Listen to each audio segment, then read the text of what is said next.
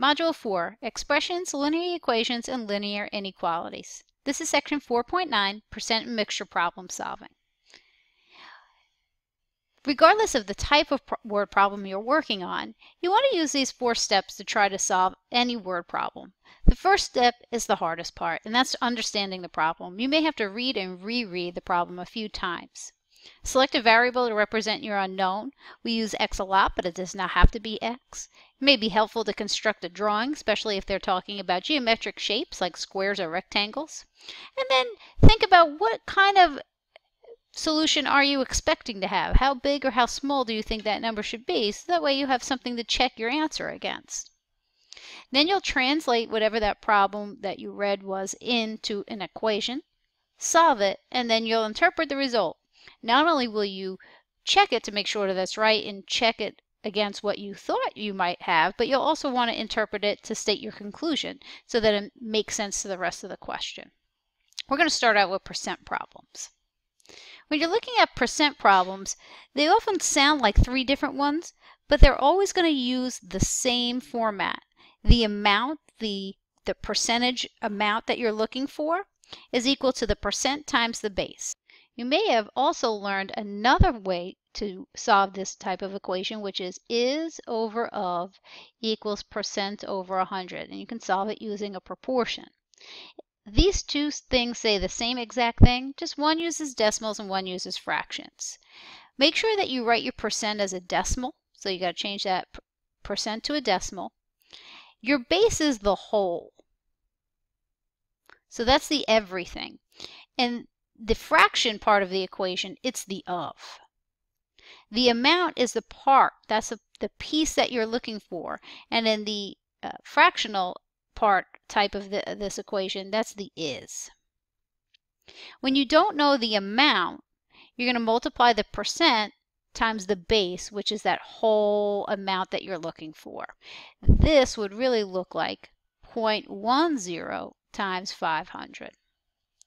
If you don't know the base, you're going to wind up having to divide both sides by the decimal. So this would be 50 equal to 0.10n, where you'd have to divide both sides by a 0.10. If you don't know the percent, this may be the easiest one, uh, then your smaller number is almost always the amount, unless you're looking for a percent that's greater than. If you have to guess, the smaller number is usually the amount.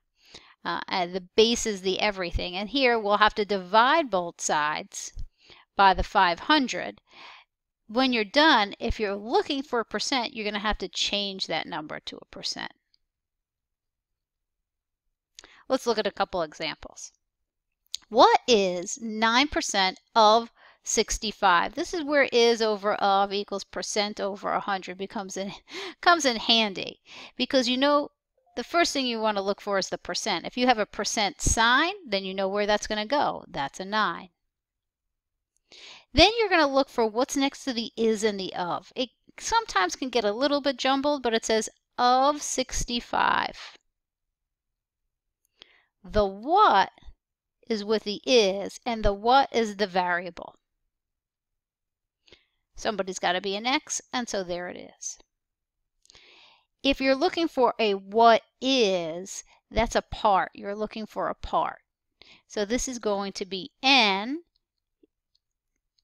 equals 9% times 65. Of course, you can't multiply by a percent, so it has to be 0.09 times 65. 0.09 times 65 is 5.85. So 5.85 is 9% of 65.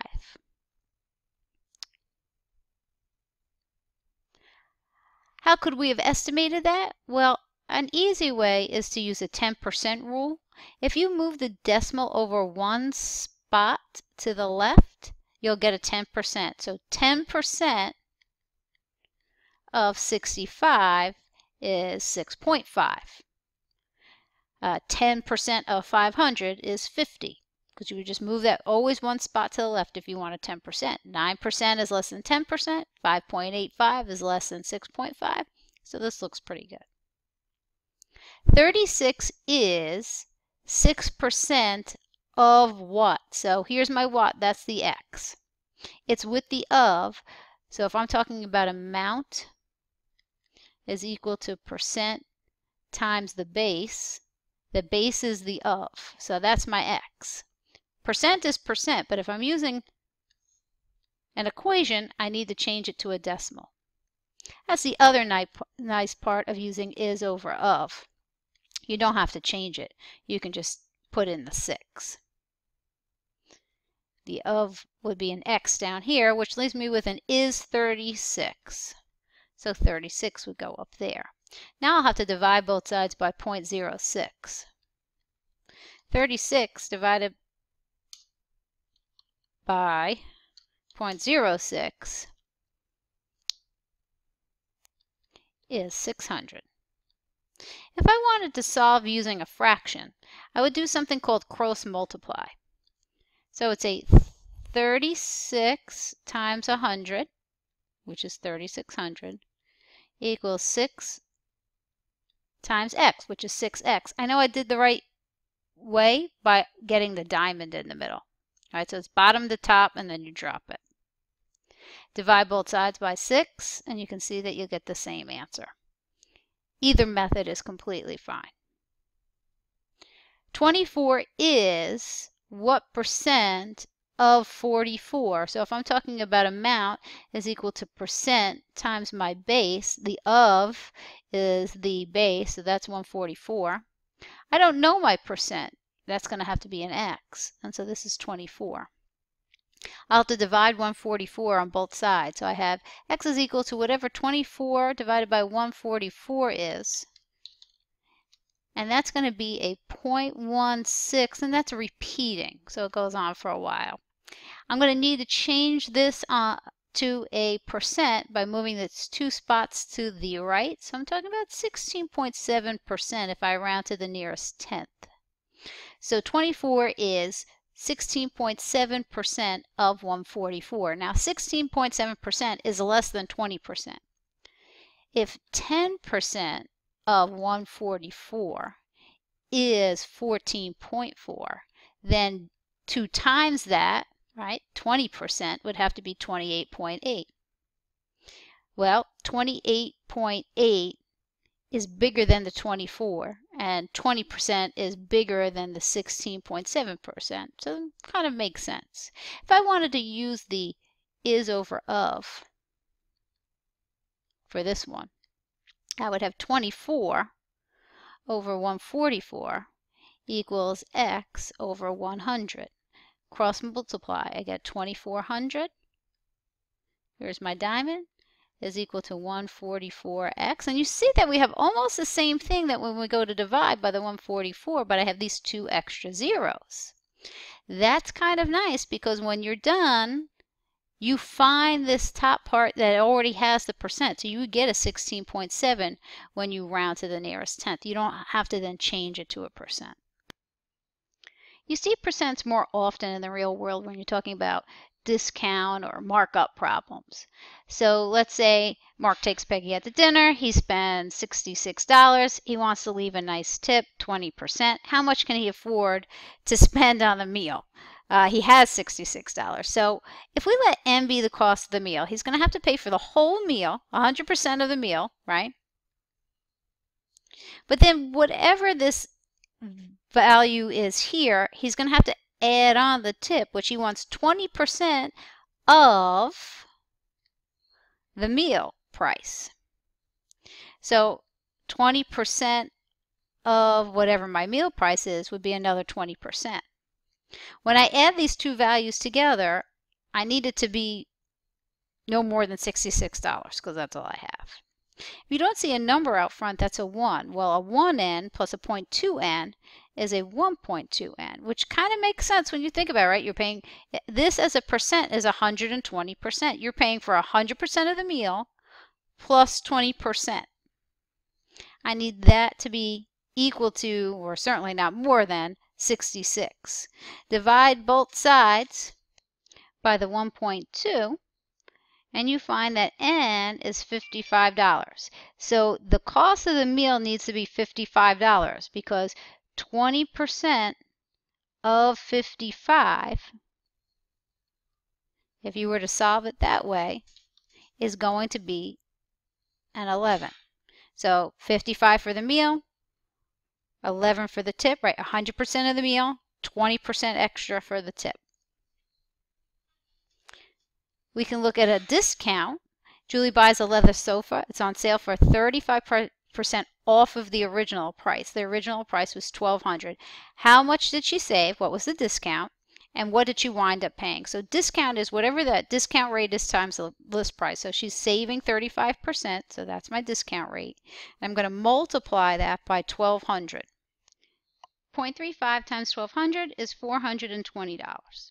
So she saved $420, right? That's how much is coming off. If I take 35% off, that means I'm really going to subtract $420. So how much did I pay? Well, it's just 1200 minus the 420 and I get $780. That's how much you paid for her couch. If you're out and you're shopping and you don't want to do this in two steps, you can say, well, if I'm taking 35% off, you can leave 65% on, right? I'm, that's the part. that's what what I'm paying for. If I'm not paying for 35% of it because it's coming off, I think about it as 65% on because ultimately I don't care how much I'm saving. I care about how much I'm going to have to pay. I really have to pay 65% of that original price. And 65% of 1200, well, that's going to be the $780. So depending on what your question is, you can look at it from two different ways. Let's look at increase problems and decrease problems. So a percent of increase and a percent of decrease is different than discount and markup. What a percent of increase and a percent of decrease says is what's my new amount and what's the old amount and how what was that percent of change if I wanted to talk about how much more or how much less the new value is. I want to compare that to the old value using a percent. Like I make 20% more at this job than I did the last job, or I'm paying 36% less in taxes in, in this state compared to the other state. Here's an example of percent of increase. Cost of a certain car uh, increased from 16,000 last year to 17,280 this year. What's the percent of increase? So the amount of increase, and it will be decrease as well, is the new amount minus the original amount. So now the car is $17,280. It used to be the original amount was 16,000. So I have a price increase of $1,280. That's the amount of increase. If I wanted to think about this as what percent is 1280 of the original amount of 16,000? So I'm talking about amount of increase, the 1280 compared to the original amount. And when you find your decimal, you make it a percent by moving it two spots to the right. So the car's cost increased by 8%. You can think of it as new minus old over old. No. Percent of decrease is really the same thing, except your amount of increase, which was positive here, is going to turn into an amount of decrease. So instead of having a positive number in your numerator, you're going to have a negative number. Percent of decrease. Patrick weighed 285 pounds two years ago. After a diet, he got his weight down to 171. What is the percent of decrease in his weight? So you're going to say new amount, what, what does he weigh now? 171. And then you have the original amount, which was 285. And 171 minus 285 means he lost, right? There's a negative. He's down 114 pounds. The amount of decrease is going to be a negative. Don't let that throw you off because we're going to do the same thing. And you just compare it to what the original was. The original was 285. Negative 114 divided by a 285 gives you a negative 0.4. Well, as a percent, 0.4 is 40%. The negative lets you know that's a decrease, right? Because it's going down. If that was positive, it would be an increase. So he decreased by 40%, right? His weight decreased by 40%. You don't have to say a negative 40%. You can say a decrease by 40%. Now for the the toughest questions, and those are the mixture questions. And it's really helpful to draw a table for these. The owner of a candy store is mixing candy worth $6 per pound uh, with candy that's worth $8 a pound. She wants to make 144 pounds of candy. So imagine you have this bucket and you're dumping in some $6 candy and then you're dumping in some $8 candy. After you're done dumping in all the candy, we want this to be 144 pounds worth of candy. But the sticker I want to put on it, like when I start scooping it into little bags, is I want the little price tag to say $7.50. So I have to think about how much candy should I put in that's worth $6 and how much candy should I put in that's worth $8 so that I can still make money, right? Like I can't put a whole bunch of $8 candy in and only a little bit of $6 candy and charge $7.50 because it's going to I'm going to lose money. And if I make the candy bags with a lot of $6 candy and not enough $8 candy, people are going to feel like like it's not worth buying the candy bag that's overpriced. So I need to think about how many pounds of one candy I need to put in. So I'm going to let N be the number of candy, the pounds of the $6 candy. Now you could easily make that the $8 candy, but I'm going to pour the $6 candy in first. I don't know how much candy of the N I want to put in for the $6 candy. I'm going to add in the $8 candy and I want this to add up to 144 but I can't use another variable. I don't want to use like X and Y because I can only solve for one variable at a time. Well let's say I put in 40 pounds of this then that would have to be 104 pounds of this right? Because that's what's going to get me up to 144 well where did this come from? So well, I already put in 40 I wanted to max out at 144 so I would subtract that and that's where that would come from I don't have actually 40, I just have N. So the amount of the $8 candy is 144 minus whatever I put in before. Right, so if you were to simplify this, right, n plus 144 plus a negative n, well, the, the n's would add out, leaving with 144 equal to 144. So you know you kind of have this, this how much part of the story correct. So I'm going to put in n number of pounds of the $6 candy, which leaves me with 144 minus n pounds of candy. When I add these two together, I'm going to get 144 pounds of candy. Now I want this price of the $7 candy to be $7.50. I know that this is $6 and I know that this is $8. I want to think about, well, what's this value? And I'm going to also think about kind of a double line right here, like this. So if I took all of this candy that I dumped in the bag and it's worth six bucks a pound, if I put in 10 pounds, that would be $60, right? I would say it's this many pounds and this is how much it's worth. So I would know how much money I put in in pounds this $8 candy that I put in some unknown amount, that's worth $8. So that's how much this cost.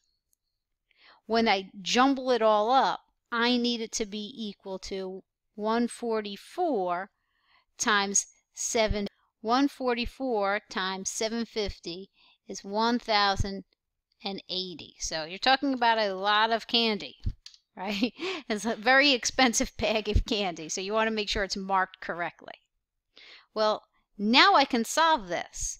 It's this column that you want to solve. It's this value of this candy plus this that I dumped in and made this bag. So I have all the candy I dumped in and how much it cost me for the $6 candy. And then I did that with the $8 candy, right? So this is all the stuff that I dumped in. This is how much it cost me. At the end, I want it to be equal to this much.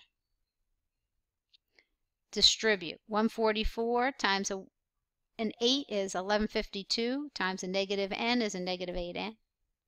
Combine like terms, I got a 6 and a negative 8. That leaves me with a negative 2n. I'm going to subtract the 1152 from both sides. So don't panic when you see negatives. They tend to take care of themselves. Have negative 2n, because that adds to a 0, equal to a negative 72. When you divide by a negative 2, a negative divided by a negative is a positive. So she needs to use 36 pounds of the $6 candy, which means then if I use already 36 pounds and I want to max out at 144, I need to add in 108 of the $8 candy. You can check it by plugging it back in. Do these two numbers actually give me this value over here? And it does. A table really helps to organize the data. I'm going to go back to the table for a minute. You may have your N here at the price uh, oh, up top here. You could have your N down here. So the N doesn't always have to be over in the pound section. But this is how you always want to set it up. It's basically a, a how much and, and what is it worth to you. You multiply this way but you think about these little sections as their own little equations. And that's how you do mixture and percent problems.